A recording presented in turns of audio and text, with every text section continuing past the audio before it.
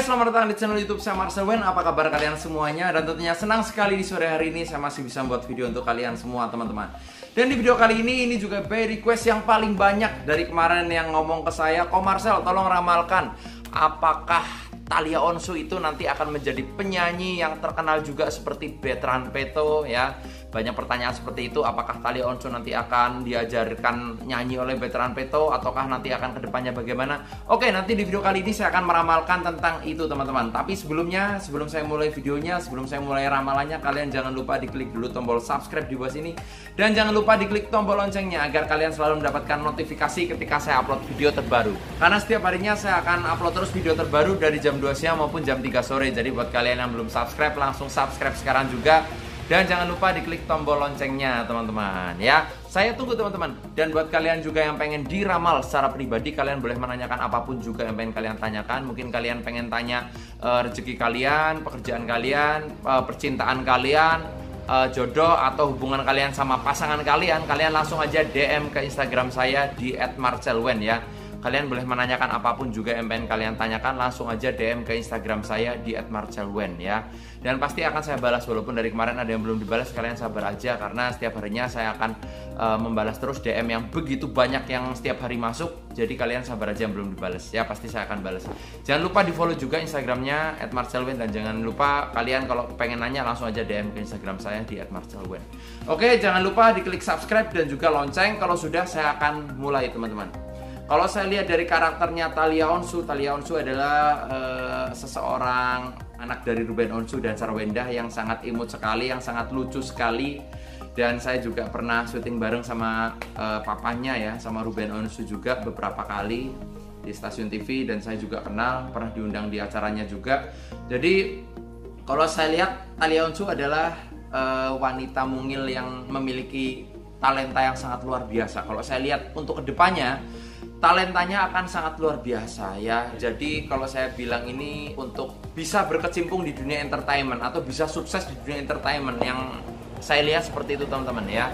Jadi karakternya Talia Onsu ini dia memiliki talenta yang terpendam teman-teman ya. Sebenarnya nanti di kemudian hari dia akan mengeksplor kemampuannya akan mengeksplor bakatnya dengan baik sehingga menjadi entertainer yang sangat luar biasa yang bisa menghibur banyak orang teman-teman ya. Dari kecil aja saya sudah bisa melihat auranya uh, aura entertainnya itu tinggi teman-teman ya. Cuma uh, karena usianya mungkin yang masih kecil nanti pasti di pertambahan usianya itu akan semakin terlihat jelas ya talentanya ya Oke, dan nanti, nanti saya akan membuka dua kartu seperti biasa untuk melihat apakah Talia Onsu itu nanti akan menjadi penyanyi seperti Veteran Peto juga atau akan akan menjadi host seperti uh, Ruben Onsu ya.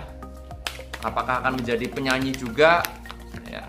Seperti mamanya juga Sarwenda ya. Nanti saya akan lihat kartunya teman-teman ya. Saya akan lihat kartunya dan nanti saya akan membuka dua kartu seperti biasa dan akan saya artikan satu persatu teman-teman ya. Saya akan acak dulu.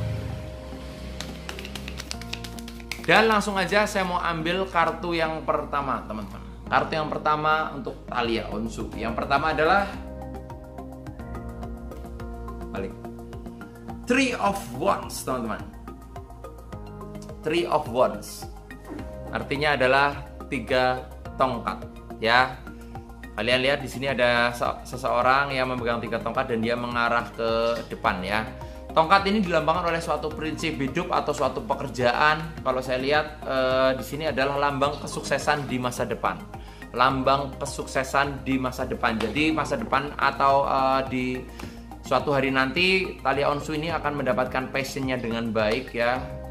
Dia e, berpotensi sekali untuk menjadi seorang penyanyi karena kalau saya lihat pengaruh dari veteran Peto itu juga sangat uh, jelas sekali mengajarkan nyanyi, mengajarkan bakatnya apalagi kalau bakatnya sudah diasah dari sejak kecil, dari sejak dini itu nanti besarnya akan membuahkan hasil yang sangat luar biasa, teman-teman.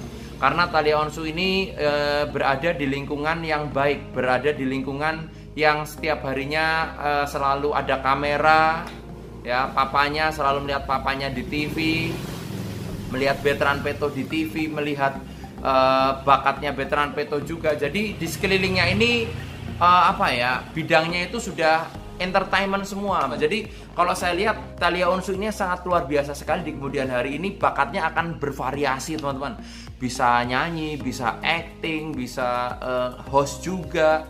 Kalau saya lihat jadi ini adalah bakat yang terpendam yang belum uh, begitu kelihatan cuma nanti ke depannya akan semakin kelihatan dan akan menjadi orang yang sangat luar biasa sekali akan menjadi wanita yang sangat luar biasa sekali ya dan ini bakat nyanyinya juga akan tertular dari veteran Peto tentunya teman-teman ya. Ini di kartu yang pertama mengisyaratkan bahwa tiga tongkat adalah lambang pekerjaan yang baik di kemudian hari ya di kartu yang pertama. Oke, nanti saya akan mengambil kartu yang kedua. Apakah kartu yang kedua itu juga melambangkan tentang wands juga, tentang tongkat ataukah tentang yang lainnya, teman-teman? Ya. Saya akan acak dulu kartunya.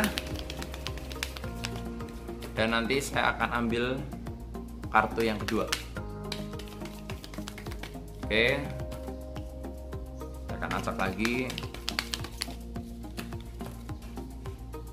Dan langsung aja saya mau ambil kartu yang kedua untuk Talia Onsu. Kartu yang kedua adalah Nine of Pentacles, teman-teman. Nine of Pentacles.